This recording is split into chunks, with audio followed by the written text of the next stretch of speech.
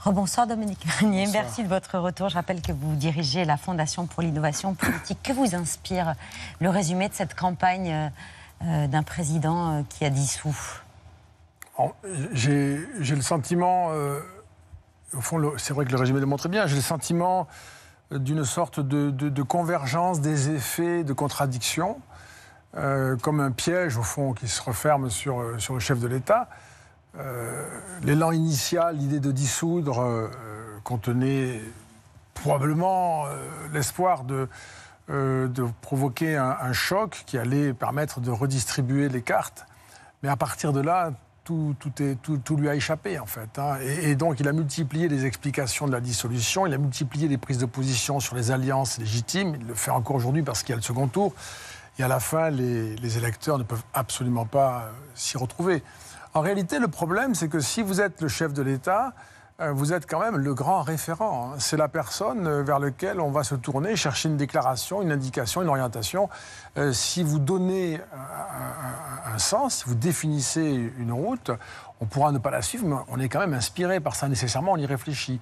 Et là, on a eu quand même des allers-retours. C'est un, peu comme, je le dis avec beaucoup d'amitié pour euh, il y a le de pivet, mais c'est un peu comme l'explication des, si vous voulez, des désistements. C'est trop compliqué. Euh, on mm. peut pas, les gens ne peuvent pas comprendre. Il ne faut pas se renseigner sur, euh, à ce point sur les relations que les députés ont pu avoir à l'Assemblée nationale avant de les soutenir ou pas. Les gens n'ont pas besoin de se renseigner. Il suffit de voir qui reste candidat et qui s'en va. Oh, c'est chaque circonscription. Hein. Oui, mais ça dépend, précisément, ça dépend de qui. Ça dépend. C'est les, candidats finalement qui le, qui le décident. D'ailleurs, il y a les récalcitrants qui euh, pourraient se faire euh, enlever leur étiquette. Euh, oui, je veux dire, pour, les, pour lecteurs, si, on fait un, si on fait un, second tour de barrage au nom d'un principe moral, il faut être sûr que la moralité est de l'autre côté. Hmm. Sinon, vous êtes dans une situation invraisemblable, où on vous demande par un effet de discipline de bien vouloir vous opposer au Rassemblement national ou non d'un principe moral sans être sûr que l'autre n'est pas aussi coupable ou plus coupable. Non, mais ce barrage, il dépend de l'offre qui, euh, l'offre électorale qui aura été, qui aura qui sera celle du second tour. Oui, effectivement. Donc, D'où l'importance des désistements et des retraits de candidature. Bien sûr, bien sûr. Mais il y a déjà, de toute façon, je, le dis parce que c'est une évidence, il y a déjà euh, un nuage qui, qui, qui, quand même qui couvre cette idée d'un camp du bien contre un camp du mal. Enfin, sur des sujets qui sont suffisamment sérieux. C'est, c'est quand même quelque chose de très symptomatique de l'état dans lequel nous sommes aujourd'hui, de voir que moi, ça me touche beaucoup parce que c'est significatif. Je regrette infiniment, pour nous tous, hein, en France que sur la question de l'antisémitisme, il n'y ait pas là une clause d'exclusion totale. Totale. Ils peuvent tout à fait garder leur, liberté, euh, je dirais, tant qu'ils ne ils tombent pas sous le coup de la loi. Mais on ne peut pas faire de la politique avec ces gens-là. Et ça se fait. Et maintenant à gauche aussi. Et c'est pour moi, c'est le grand événement de ces législatives, c'est de voir qu'une partie de la gauche a accepté des antisémites. Ça ne s'était jamais vu. Il y avait une sorte de... Euh, moi, je me définis plutôt comme un libéral. On peut dire en France, on dit c'est il est de droite, bah, c'est un libéral, voilà. Mais la gauche, elle avait un rôle majeur dans la lutte contre l'antisémitisme. Pour moi, c'est fini depuis 2024. Il y aura des combattants euh, qui lutteront contre les antisémites à gauche et à droite, mais il n'y a plus la gauche qui avait cette espèce de force. On citait souvent, et, vous l'avez invité, euh, M. Badinter, etc quelque chose de très important s'est brisé et ça va nous manquer, ça. Cette espèce de force que l'on doit avoir parce qu'on sait très bien qu'il y a euh, à gauche comme à droite des défenseurs euh, de euh, la communauté juive. Mais plus on a diabolisé, peut-être à raison, certains membres de la France insoumise, plus on a normalisé le Rassemblement national sur cette même question? C'est-à-dire que il me semble que ce qui s'est passé depuis, euh, depuis 2022, parce que c'est la séquence, ce qui s'est passé depuis 2022, c'est l'émergence, euh, non pas qu'il n'y ait plus l'antisémitisme de droite, mais ça, on sait, je ne veux pas être long, on l'a beaucoup étudié, j'ai beaucoup étudié ça. L'antisémitisme, il a changé de nature, il n'a pas disparu à l'extrême droite, il est devenu massif dans ce qu'on appelle euh, l'islamo-gauchisme. C'est une formule qui n'est pas très facile à utiliser, mais qui, dit quelque chose de vrai. Et donc on a vu, euh, et en particulier récemment, on a vu surgir euh, autour de la France insoumise un antisémitisme qui était impressionnant. J'ai vu moi-même, pour la première fois de ma vie, des étudiants à Sciences Po, mais professionnels, des étudiants à Sciences Po, s'embarquer dans des mouvements antisémites. Parce que les, les, slogans étaient de nature antisémite. Nous sommes là, là je dirais là, c'est ce barrage on ne l'a pas fait. Et donc, c'est, on a perdu beaucoup de batailles essentielles. et, maintenant, bon, il y a cette idée du barrage contre, contre le RN. mais moi, ce, qui, ce, qui, ce que je ne comprends pas, je ne sais pas si, si je peux poursuivre ça, mais ce que je ne comprends pas, au fond, c'est, je le dis très sérieusement, hein, je pense qu'il serait préférable d'envisager l'interdiction du Rassemblement national, je le dis très sérieusement, parce qu'il ne fait pas sens pour les électeurs de voir un parti autorisé qui a le droit de présenter des candidats à la seule condition de ne pas gagner les élections. C'est pas possible. Ça n'est pas possible. Ce que les gens vont percevoir, c'est qu'en réalité, on est organisé pour leur défaite et qu'on veut bien les laisser s'exprimer, mais surtout pas pour gagner. Ils n'auront pas le droit de gagner.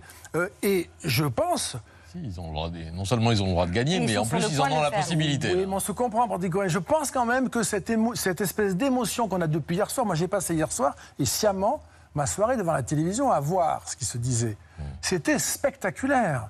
C'était spectaculaire. Euh, on ne peut pas se retrouver dans un tel état. Euh, pardon, c'était spectaculaire dans les deux camps. Ah, les deux côtés. Laure Lavalette, dimanche prochain, vous aurez à choisir entre l'amour de la France et l'amour du Hamas. J'ai entendu ça sur un ah plateau télé. Je, ne parle pas de ça, moi. Je ne parle pas de ah, ça. Ah, moi, je parle de ça aussi. je ne parle pas de ça, pas bah, du vous Parlez de quoi non, moi, je parle du fait que euh, le Rassemblement national, qui est donné comme vainqueur, ce qui ne sera peut-être pas, hein, hmm. euh, s'est présenté comme impossible. Je pense que nous n'aurions pas eu la même scène si nous avions donné comme possible vainqueur euh, le nouveau Front populaire avec la France insoumise qui, domine. Mais c'est dans l'esprit des Français, c'est pas du tout impossible. Dans les pronostics de victoire, vous avez vu ça dans les sondages. La, majorité des Français pensent que le Rassemblement national va gagner les élections. Pas ce que je vous dis, Patrick Cohen. Je vous dis que si nous avions, je pas. je vous dis, c'est très simple, c'est très simple. Imaginez une scène différente. Hier soir, c'était euh, le nouveau Front populaire avec la France insoumise qui domine, vous l'avez dit vous-même, Mélenchon. Il n'y aurait pas eu un mouvement de front républicain, Mais c'est sûr, c'est sûr. Charles Berling ne serait pas venu vous dire qu'il faut faire barrage. Personne n'aurait bougé. C'est la question est-ce que le RN est un parti comme les autres eh bien, On revient à une question qui traîne depuis 25 ans dans le débat public. Est-ce que le RN est un parti comme les autres Et est-ce que les partis qui ont les mêmes défauts que le RN peuvent être absous au motif qu'ils ne sont pas le RN Et peut-être parce que c'est un parti dans une coalition, Dominique Régnier? C'est-à-dire que les gens qui sont à côté de ce parti estiment qu'ils n'ont pas à travailler avec eux aussi. Je trouve que c'est une, soustraction qui me paraît impossible parce que, euh, et, on le sait bien, euh, la, la, composante LFI, c'est celle qui aura le plus de députés. C'est celle qui va dominer la coalition. Et encore une fois, on l'a vu hier avec Jean-Luc Mélenchon qui décide de son propre chef, ça a été dit très clairement, euh, de faire la synthèse, de dire qui va se, qui va se désister euh, et d'imposer son autorité sur une coalition qui n'a pas d'autorité autre que lui d'ailleurs en réalité. Hein. il n'y a pas d'autre chef.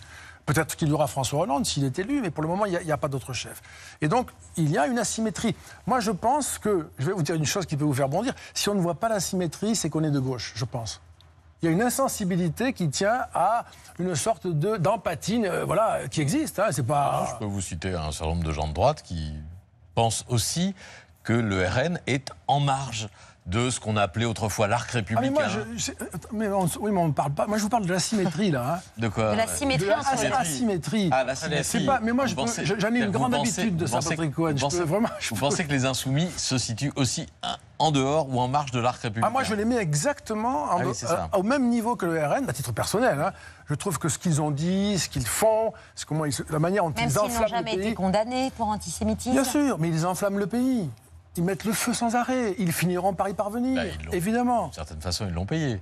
Bah, ils l'ont payé, on ne sait pas ça. Pourquoi vous dites bah, cela Ils l'ont payé parce que euh, tout le monde peut constater que aussi, c'est ce que j'ai expliqué aussi dans l'édito tout à l'heure, après euh, euh, le phénomène qui s'est passé après le 7 octobre, ils ont contribué aussi à la normalisation, à l'aspect respectable du Rassemblement national. ça a été une, accélération accélérée. Par contraste, si, si, par contraste. C'est nous qui le payons, c'est pas eux. C'est nous qui. C'est nous qui le payons. Si le RN est banalisé, c'est pas eux. C'est votre ah bah, moral. Je veux dire, si, le, RN est dangereux et qu'il est banalisé, c'est nous qui le payons. C'est pas la France insoumise. Par contre, euh, il me paraît tout à fait euh, euh, spectaculaire de voir que si vous faites l'hypothèse, c'est l'hypothèse que je fais moi, que Jean-Luc Mélenchon a une stratégie révolutionnaire du chaos, on peut appeler ça comme on veut, il a besoin euh, d'enflammer le pays. La scène hier, sa déclaration, elle est faite pour ça. La place de la République, c'était fait pour ça. Y avait-il besoin de drapeaux palestiniens et de cris de haine contre Israël hier soir pour euh, encourager les électeurs à voter pour vous? Donc il ne veut pas la victoire. au fond, vous pensez toujours, comme vous nous l'aviez dit déjà, qu'il ne veut pas vraiment la victoire dimanche prochain. Et je pense la même chose de Marine Le Pen. Je pense que tous les deux souhaitent une majorité introuvable et une crise de régime qui leur permettrait d'exercer une pression sur euh, Emmanuel Macron pour avoir une présidentielle. Je pense que les deux convergent dans une stratégie euh, euh, partagée. Ils n'ont pas besoin de se téléphoner pour s'en convaincre ou pour se le dire. D'une certaine manière, je pourrais dire que Marine Le Pen, c'est par les urnes. Jean-Luc Mélenchon, c'est par les urnes avec une capacité à le faire aussi par la rue. Est-ce qu'il y a encore des marges de manœuvre politique en cas de majorité relative du Rassemblement national qui, du coup, refuserait euh, de gouverner et une Assemblée euh, nationale euh, aussi ingouvernable? On peut, on peut, on peut pas l'exclure. Et tout à l'heure, Mme Yann le, le, présentait des sujets qui pourraient faire l'objet de consensus. C'était convaincant, ça. mais le problème, c'est que une espèce de majorité fragile, celle dont nous sortons, euh, qui en plus aurait cette espèce d'étendue idéologique hein, du Parti communiste au LR, bon, c'est quand même compliqué. Euh, et puis dès qu'on va euh, s'attaquer à des sujets absolument compliqués, non négociables et impopulaires, tout va éclater. Il n'y a pas beaucoup. De... Moi, je vois pas de marge là. Hein. Pour, pour qu'il y ait une marge, pour que cette hypothèse puisse fonctionner, il faudrait que l'addition de LFI et du Rassemblement national ne fasse pas une majorité absolue comprenez ce que je veux dire C'est une, c'est une, euh, une, majorité, ce serait, ce serait un groupe de, de, de, blocage euh, et de blocage absolu. et, dans les conditions actuelles qu'on voit là, ça paraît très très difficile. Mais ça veut dire une chose aussi, euh, si je puis ajouter ce point qui, est important. L'élection en démocratie, c'est fait pour dénouer les tensions. C'est fait pour passer un moment difficile en prenant une décision collective et après on s'y range, on la, on la suit même si on a, on a perdu. Et on a un cycle de pacification qui va durer 5 ans, par exemple. Et là, là ça ne va pas Ça, c'est sûr, hein, moi j'en suis sûr. On va sortir des élections avec non seulement le même degré de tension, mais un degré supérieur. Et nous aurons voté. Hmm. Et nous ne pourrons pas voter à nouveau avant juin 2025. Et donc nous allons avoir une période épouvantable où nous n'allons pas savoir comment réguler cette tension. Cette... Pour moi, c'est un, ressort que nous sommes en train de comprimer et que nous n'allons pas savoir détendre dans des conditions recevables. Donc là, il y a tout un élément, je dirais, de, menace systémique. Notre, notre régime, notre système peut euh, collapser. Nous sommes en danger du point de vue des institutions. Merci Dominique Régnier. Je suis désolé pour ces Il ne faut pas m'inviter. on aura un record de médailles au JO entre temps, donc ça va bien se passer. Et l'équipe de France va peut-être gagner l'euro. Non, je suis vraiment désolé de dire ça, mais c'est ce que je pense et j'aimerais penser autre chose. Mais merci d'avoir partagé ce point de vue sur le plateau de C'est à vous. On conclut.